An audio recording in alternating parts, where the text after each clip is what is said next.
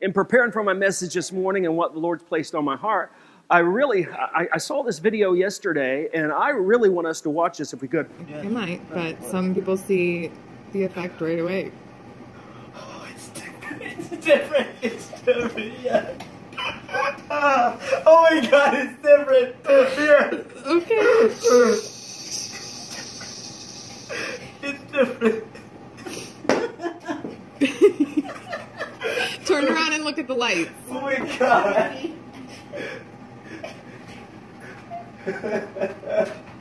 oh my god. Can you- What colors you see? Those. You see colors now?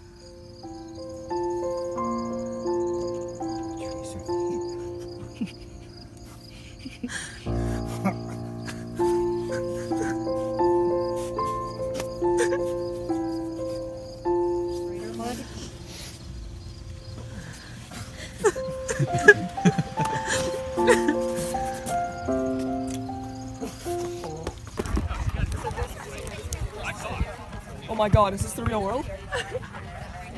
Is this actually what it looks like?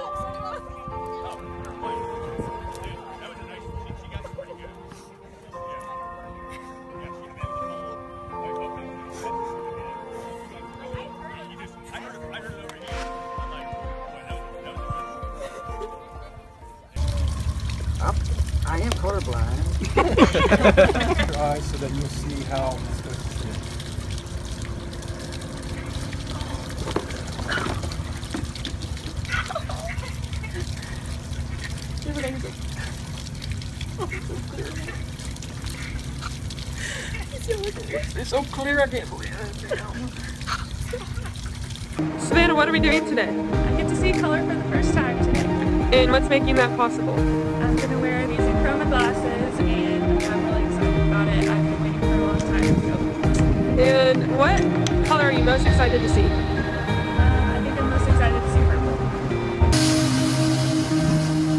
Oh my gosh, look at the red. oh my gosh. Oh my gosh, this is really cool. Oh my word. What color shirt? They just don't work. Can you see colors now? Oh my gosh. Oh my god. I guess it does work that well. Are you serious? I've been missing out on so much. Oh my god.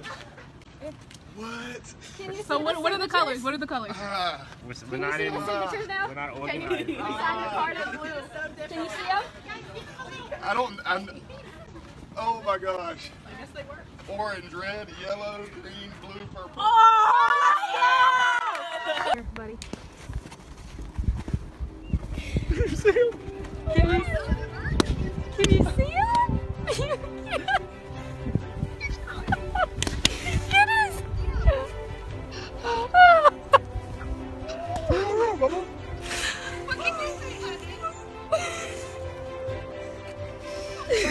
Goodness.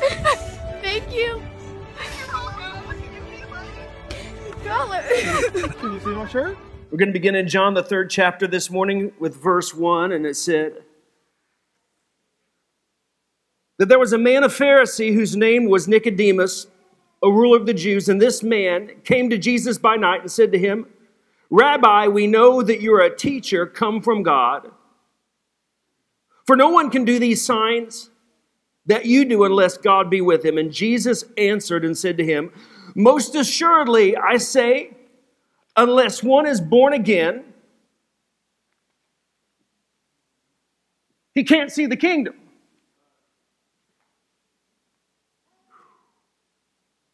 Nicodemus said to him, How can a man be born when he is old? Can he enter in a second time into his mother's womb and be born? And Jesus said, Most assuredly, I say to you, unless one is born of the water and of the Spirit, circle that in your neighbor's Bible.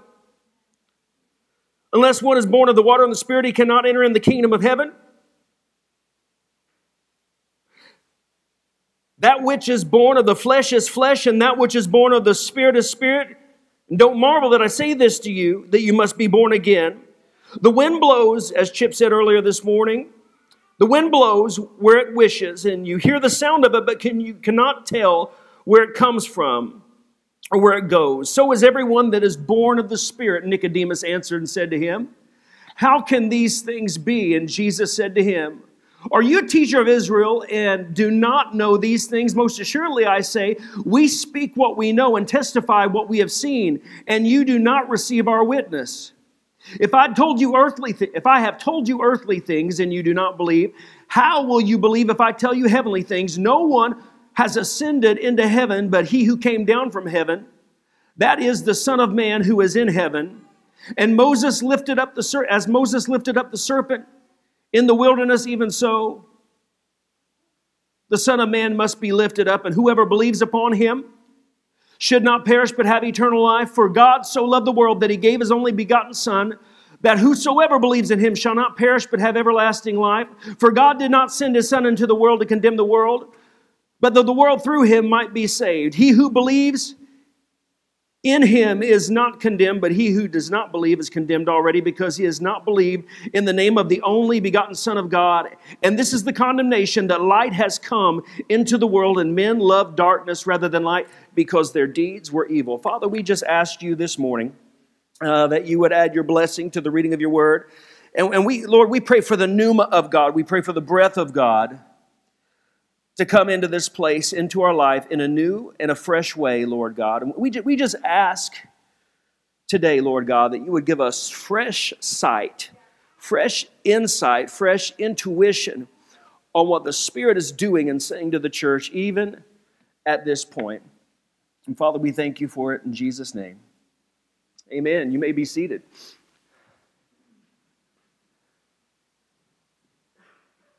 I love the text. It begins to talk about that Nicodemus was a secret follower of Jesus who came to him at night. How many of you know?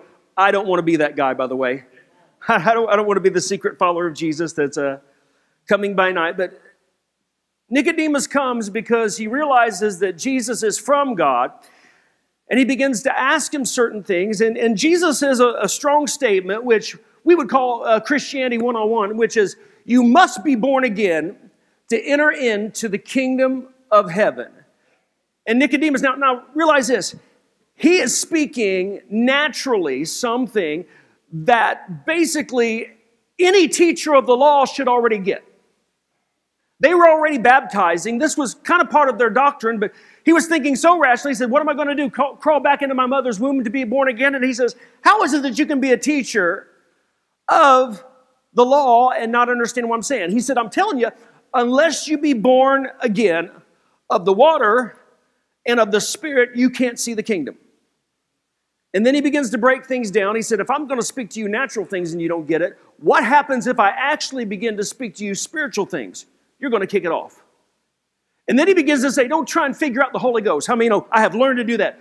Don't try and limit or figure out the Holy Ghost because the people of the Spirit are the same way. You don't know where they're coming from or where they're going, but the wind blows and you see the evidence of it. And then he gives us the great accolade that God so loved. And that some people, can I just say this? That some people want to stay blind. Just like in this video here, how, many of some people would have just been happy to have 2020 vision and not understand. Can I say one thing out of the Spirit right now? There is more than what you've experienced yet. It, it, it is okay to be thankful for what you got. It is not okay to settle for what you got because God wants to move us from faith to faith, from glory to glory. Well, when I was talking about this earlier with Melanie, she said, Can you imagine what we're going to see as far as colors when we get to heaven? I'm going to tell you what, I don't want to wait to get to heaven to see some things. But he goes on to say, he says, he says, with this, he says, you can't see the kingdom if you're not born of the water and of the Spirit. And, and this is specifically speaking about two baptisms. I mean, oh, there's baptism in water, and there's baptism in the Holy Ghost, there's baptism in the Spirit. One is, is, is natural to the degree we're getting in literal water, the other one is spiritual to the degree that God, all of a sudden, God does something. Uh, the evidence of tongues and, and all of those things. And, and in thinking about this, some people would say, well, And then this is one of the hardest subjects, and it shouldn't be in a church. I mean, I've had a, I've had a hard time with this in with believers um, because they want to argue with me on whether they're saved or not if they haven't been baptized. Now, listen, listen. The Bible says this, Hebrews the sixth chapter. The Apostle Paul says, not tearing down the elementary or the fundamental foundational things of Christ's law, his law of love. He said, we, we talk about the doctrine, which is the doctrine of laying on of hands, the doctrine of repentance from dead works, the, re- the doctrine of faith, the doctrine of resurrection from the dead, the doctrine of eternal judgment, and the doctrine of baptisms. So, how many we wouldn't take out any of the others, right? But then we come to the one of baptisms, and I, I find that some people really wrestle with baptism. Whether it's baptism in the Holy Ghost or it's baptism in water. And then uh, many people want to say, well, I know I'm saved. Well, the fact of the matter is, is when, when I got married to my wife, the reality was, is I didn't try and figure out what part of what Jesus said in this scripture could I get away with not doing and still be saved. Right? By the way, Jesus is a believer if you're going to believe in me. That means you're going to believe what he just said here. 100% promise you cannot see the kingdom clearly if you're not baptized in the water and there's, there's another there's, there's, there's in the spirit it's like some people will say well, well you know i don't have to go to church to be saved i, I, I, I don't have to uh, be baptized in water to be saved and there's a, there's a whole litany of uh, other things that they don't have to do and I'm like, you're right, you don't have to. The evidence of a good conscience towards God is that you don't have to, you get to. Because the evidence of a saved life means I've got a new want to inside of me. I don't want to. I mean, I mean, when I got born again, I was I was crazy before. I got I was crazy then. I'm like, if I read in John the third chapter that to be born again you had to buy a three-piece polyester leisure suit and wing-toed shoes, I would do it. It's like, what can I not obey about the Lord and still argue that I've got a relationship with Him? It's like I marry Melanie and I say, okay, what part of a relationship, what don't I have to listen to her about, or what don't I have to be obedient? Men, the first commandment with promises husbands, obey your wives. For this is pleasing. What, what, what part? Oh, the guys are all looking at me in that tone of voice, so it wasn't scripture. But it's like, it's like, it's not about, it's not about what can I get away with and still keep a relationship with her? It's, it's about what can I do to cultivate that relationship. And it's like, it's like when you obey the Lord, how many you know it opens up a whole new world to you that you never even knew existed. When I was watching this video for the first time, all I could think about was my salvation experience. That's all I could think about, man. I, I, I put some, I thought I could see clearly, but I put something on one day, which was Christ, and the next thing you know, everything has changed. Could you imagine if anybody like to go to 3D movies if it doesn't make you sick at your stomach? Uh, I, I love 3D movies because what if we were just basically two dimensional? We could see height and we could see width but we couldn't see depth, we couldn't see dimension. And we're walking around the whole time and we think that we're seeing stuff. And then all of a sudden we go to the IMAX theater and we put on the 3D glasses. It's like, whoa! Never seen it like that before. Years ago, Melanie and I, we were, uh, we were at a, a conference, and afterwards, a bunch of the ministers got together and they went to, it was called a silent disco. And we thought, silent disco? what in the world is this? So, so we walk in this room, and there's two turntables and a microphone, and there's there's laser lights, and people got glow sticks. This is this is inside of a church. I know that sounds sacrilegious, but they, they were having a good. There were no drinking, no drugs, okay? But they were uh, there was like disco balls and stuff, and all these people had these different colored uh, um, headsets on, and blue, green, and red. And you walk in, and you don't hear nothing. And there's all these people dancing and laughing and singing like they are in the shower. They can't hear each other. And you just look at them and say, man, y'all look dumb. You know? And then they and then they would push the button on the side, and all of a sudden it would go from red to green, and they'd be like, ah, and then they start singing real bad and dancing real crazy again. And, and the fact of the matter is, so are the things of the Spirit. Because the people that dance will always look stupid to the people that don't hear the music. So are the things of the Spirit. By adhering and listening to what God says to us, we are actually able to experience something in a different realm that we never even knew existed. Or we can just say, I'm okay the way that I am. I mean, I mean that, that's a heavy thing. Jesus said this. In fact, the first thing Jesus said is repent and get baptized. John the Baptist, the forerunner of Jesus, the baptism under repentance. And then the last thing he says in Matthew 28, it says, Go unto all the world, preaching the gospel, baptizing in the name of the Father, Son, and the Holy Ghost, making disciples of all men. So, so this is something that is important to Christ. It's heavy to him.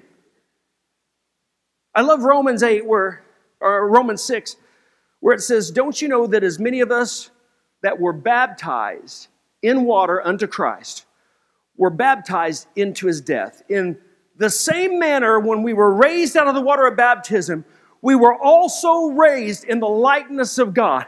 And this, the Bible says that this is the evidence of a clear conscience towards God that you got in the tub. There's always been baptisms. How many of you know that Noah had a, the Bible says that Noah's ark and the flood was a baptism. And in fact, it says something strange about Noah. It says that Noah wasn't saved from the flood. If you read it, it says Noah was saved by the flood. How was Noah saved by the flood? because the flood was washing away the filth of the land that was going to destroy his family and his lineage.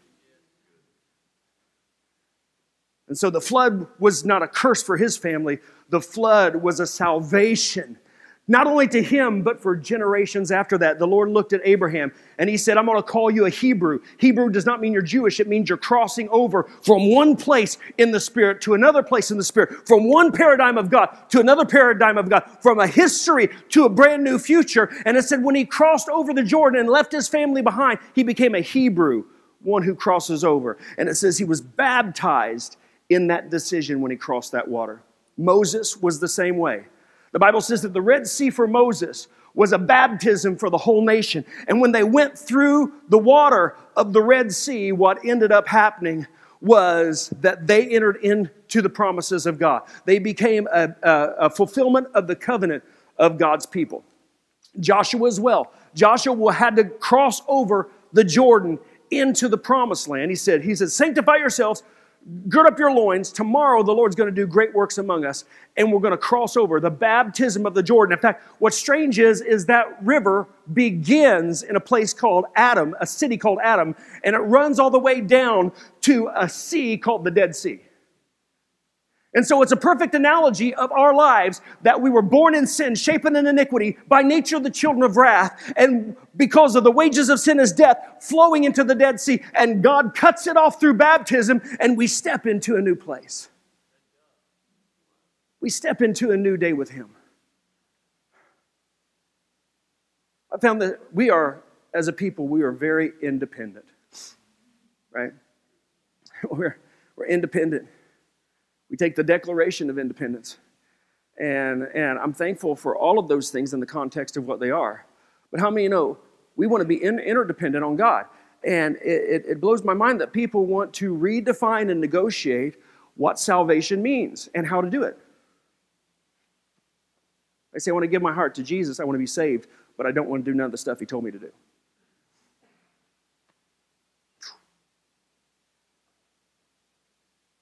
I believe there's a blessing on the other side of it. That's why I'm passionate about this. I found this that people who try and redefine what salvation is so that they can have salvation their way, like Burger King, have it your way, people who try and redefine that eventually usually end up leaving the church or, or leaving the Lord because they didn't get their way in something. And the reality is, is we didn't get saved so that we could get our way because our way was not his way and our thoughts were not. So when all of a sudden I take up on this, I say, yeah, I want it. I want it His way. I just don't want it my way. And when I, I, take it on that for myself, the, the reality is, is all of a sudden, There's, an obe- there, there's a grace that comes through obedience. I don't have it figured out, guys. Ladies, I, I just don't. But, but, but I believe this that whenever we get baptized in water, first is by the water, second is by the Spirit. Whenever we get baptized, it is the funeral for the old man. It's the funeral. It's where you put him in the casket and you come out anew. And, and I always used to say this I always used to say, it is symbolic of your new life with Christ. The Bible never says it's symbolic. I'll say that. The Bible never says that water baptism is symbolic. It doesn't call it a symbolic act, it calls it a prophetic act. See, a prophetic act is when physically you do something in obedience and spiritually God releases something to you because you did it. And so it's not just like, well, we're just going to symbolically die, bury. I, I believe in the spirit realm, it's a prophetic act in the same way that anybody, guy by the name of Naaman, Naaman was, was not of the nation of Israel, and he got leprosy, and he was a major captain. And he ends up going to Elisha to be healed of leprosy because he hears that Elisha is doing healings and all these miracles, raising the dead. So, so he shows up to him and he says, I'm here to see Elisha because I need my leprosy healed. And Elisha's servant Gehazi comes out and says, Elisha is not going to see you, but he gave me a word to tell you to do something. And if you do it, you'll be cleansed. And it said that Naaman got mad because he wasn't getting healed the way that he wanted to be healed. And so in the text in Second Kings, I believe the fifth chapter, it says he became furious because Elisha would not come out. And so Gehazi goes in and says, Elisha said, Go back out and tell him to do exactly what I told you to do. So he goes out and says, Elisha's not coming out, man. Here's what you got to do you got to go dip yourself in the river Jordan, and you got to do it seven times. And if you do it seven times, you'll be healed. And here's what Naaman says Why can't he just come out and lift his hands over me and declare it done so I don't have to get wet? That's what he said.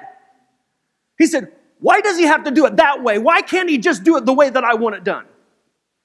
He says, It's not going to happen. This is, this is what the word of the Lord is. And so then he says, Can't I at least go and dip myself in Damascus near my hometown? Because my river in Damascus is a lot cleaner than the river Jordan.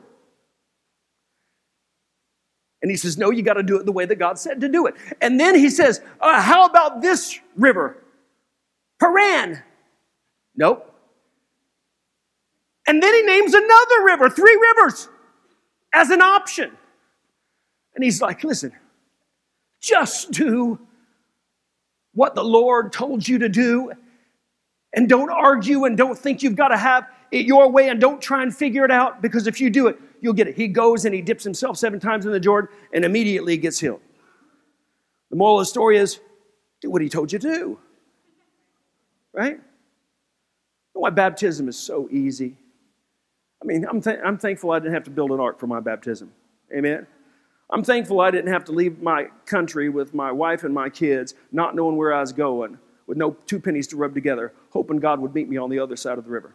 I'm, I'm thankful I didn't have Pharaoh chomping at my buttocks trying to kill me in my baptism, right? I'm, I'm, I'm really thankful for all of those things. I just got to get in the baptism. Why is it so easy? Because Jesus did all the heavy lifting for you. He did it. He did all the heavy lifting. He, he made a way. It's a fundamental part of the doctrine of Christ. And it says when you do this natural act of obedience, it, it guarantees you there wasn't anything spiritual about the Jordan with Naaman. But to obey is better than sacrifice. It's better than whole burnt offerings. And I always thought, why did baptism, like, it meant so much to Jesus. And it meant so much to the first church. And I repent, I barely ever talk about it. We'll see people saved, and she'll say, Did you tell them they need to be baptized? I'm like, I wasn't able to catch them at the door. And I, it's, it's not a command, only it's an opportunity. It's an invitation for new life to those of us who become baptized. I didn't want to get baptized, I'm going to tell you. I, I did not. I got baptized at age eight. I didn't continue to serve the Lord. It did not stick. Let's just say this I didn't stick, it would have stuck. I get born again. I start teaching Sunday school class with five little kids. And, and let me tell you what, can I just say this? I never felt called to children ministry.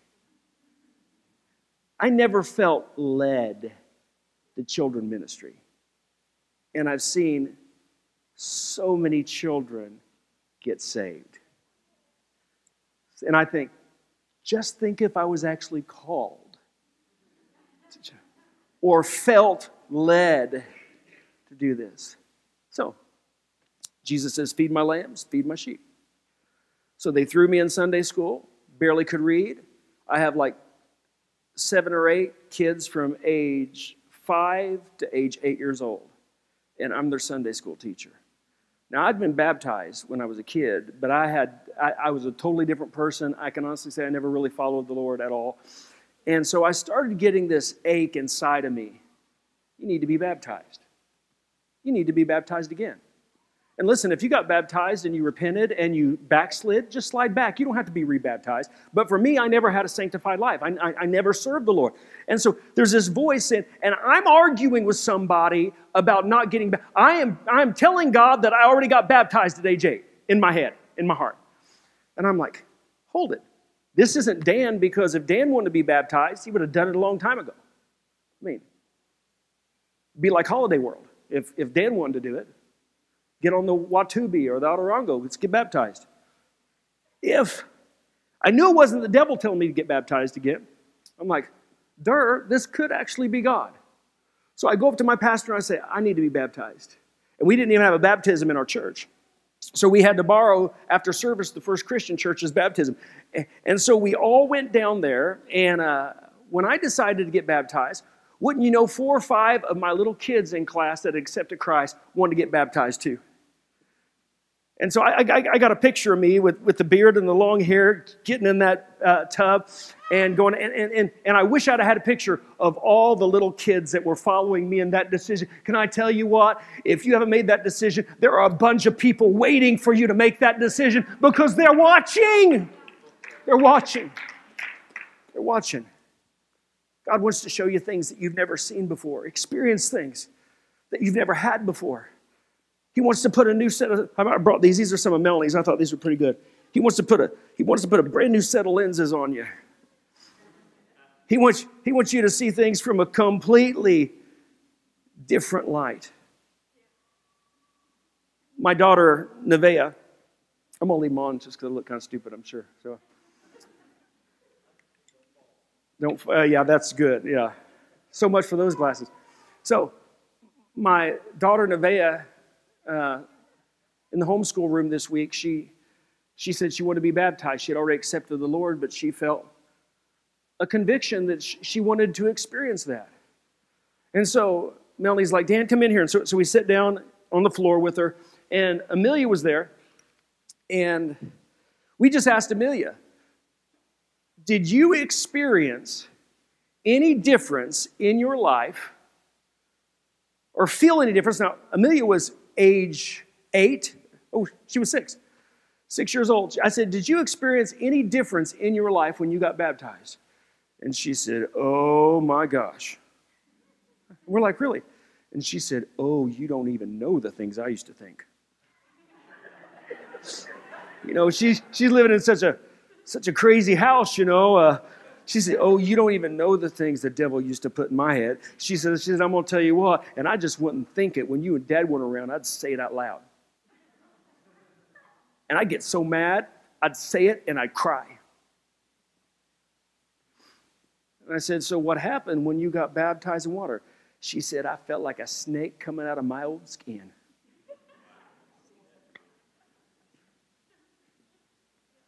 I don't necessarily want you to be a snake coming out of your own skin, but I do want you to become a new creature. Shedding an old life. That's good. Don't you know that as many of us were baptized in Christ, we were baptized in his death, and in the likeness of his death, we're buried with him. And the old man, listen, listen, the old man is dead. Twice dead, plucked up by the roots. Jesus says, if you do this. Jesus said it. And in the likeness of the death, we're buried with him in baptism. In the likeness of his resurrection, we'll be raised again. Not only spiritually right now, but eternally, forever, forever and ever. I want, to, I want to read something just really quickly.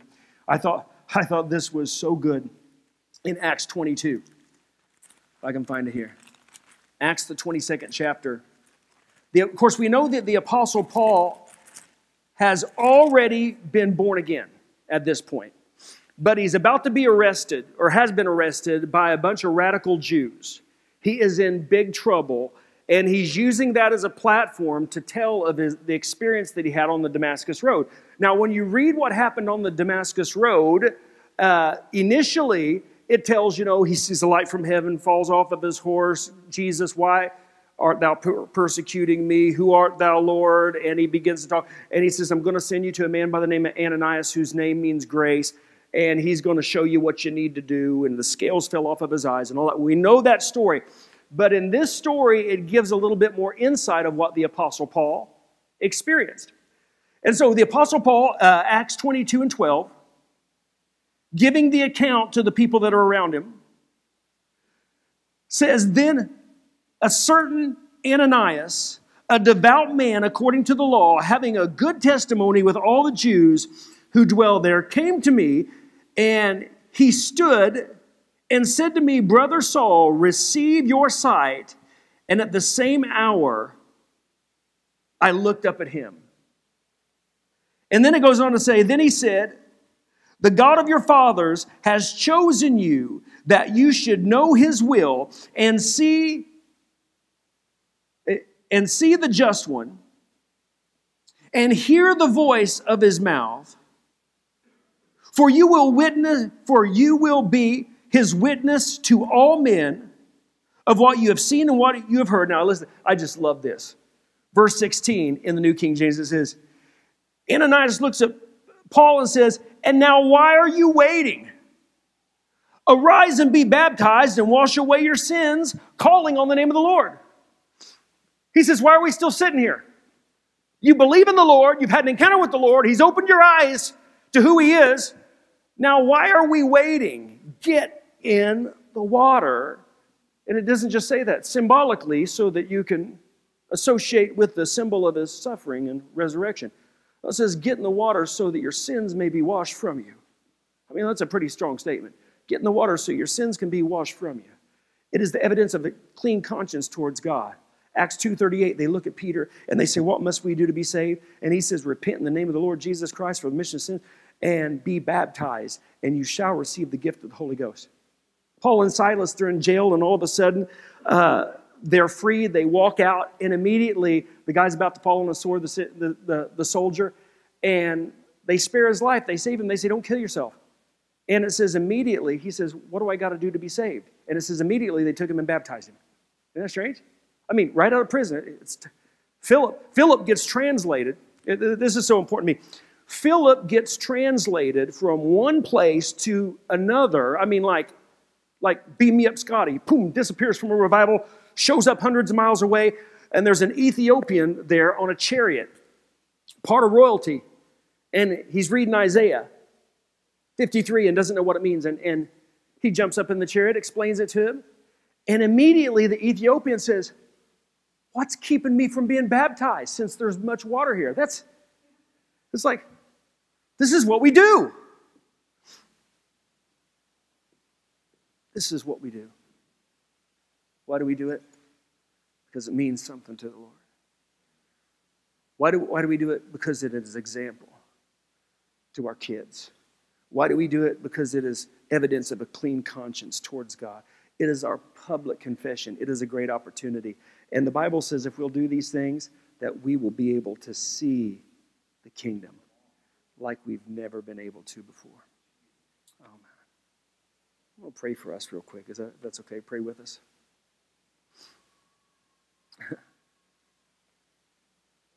we might talk about the other baptism coming up here next week or so. But I really wanted to hammer the baptism in water because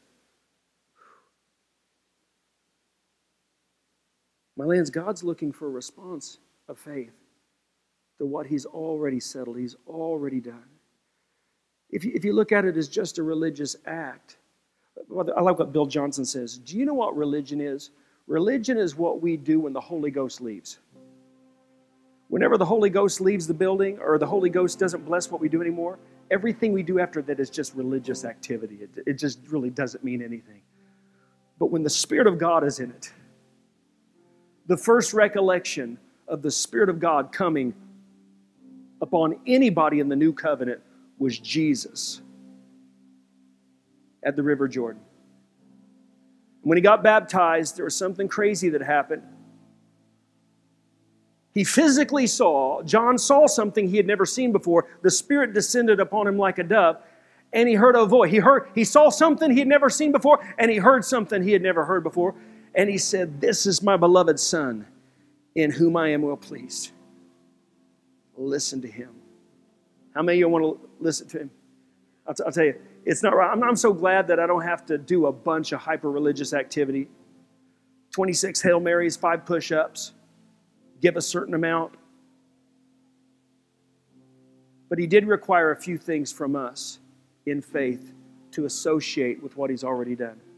And baptism was one of those. But I want to go back to the first part. It says, repent and be baptized. I just want to ask you this morning, man, God is so crazy about you.